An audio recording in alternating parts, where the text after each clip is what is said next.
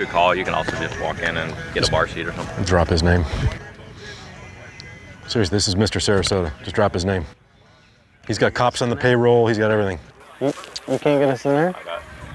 Well, yeah, if I'm with you. Oh, wow. Can I have one of your cards? That's messed up. I know this guy. Baseball card. He told me just to show you this. He said this is good to go. Big believer in long toss. Big believer. So as much as you can, get stretch, even if it's only for a few throws. Stretch it out, man. Get a guy way out there and it builds arm strength. And then you got to keep that arm strength through the whole season. So I always long tossed every day. Me and Mike Bordick would long toss every single day. So my arm always was healthy. I always never had arm problems. So I think it helps in, in two different ways. It keeps you strong, but it also helps the healthier arm. Because if you're just flipping the ball around, flipping the ball around, all of a sudden you got to make a do or die play, a do or die throw, and you overextend that thing, that's when stuff pops. So make sure you uh, keep it strong.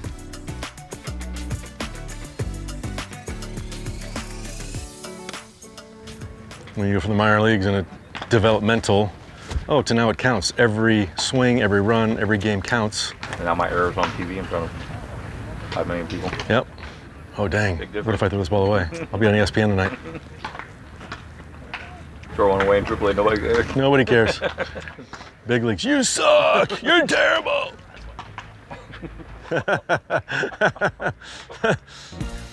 and always, you know, on an outfielder, I always thought and always practice trying to skip the ball.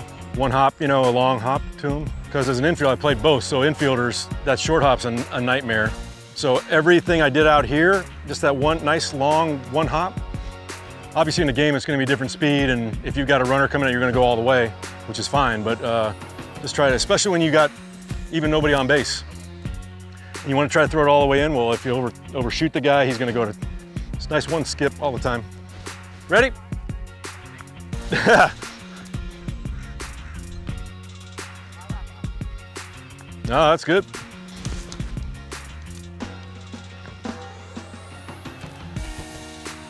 Perfect. Yeah, these starts you had from 15 feet should be the same start you have from 225 feet. Because like you just said, it's really, really hard to speed up to catch a ball. When you start off as hard as you can go, you can always slow down. You can always slow down. If you've started off at 75%, you can't make that distance up. And that's when we miss balls. And that's when we have to overextend to get balls and we're not in a throwing position to keep the runner from advancing. So as fast as you can go, it's, it's not that tough, guys. There's not that many plays in the outfield during a game. It's not like we're telling you to overtax yourself. You're gonna be tired and you're gonna be worn out by the end. It's like those first burst a few steps and that's, that's the key. That's the key for everything. Minor leagues is developmental, you know, and it, make your mistakes and learn and, you know, grow. But when you get the big leagues, it's no, now, tonight. You gotta do it right now. There ain't no off at bats. There's no off games where you, it's okay, you know, nice. No, you gotta win. I think that. No, that weighs, that weighs, that weighs. You know, I always talk about, you know, pressure is all self-imposed.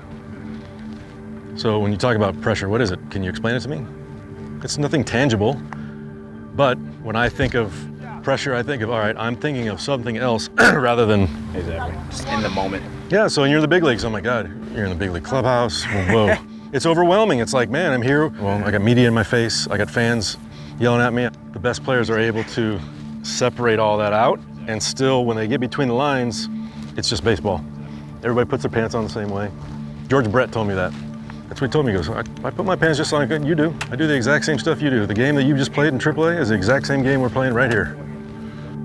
Remember this, it takes no talent to hustle. It takes zero talent to hustle. Everybody here has the potential to hustle as hard as they can every day. People notice that. And you don't want to be labeled early on in your career, especially when you're young. It happens. Eh, he gives about 75%. I don't know if I want him on my team. Just remember that. Someone's always watching you. Always. Doesn't matter where you are. If you got a uniform on, somebody's watching you and taking notes.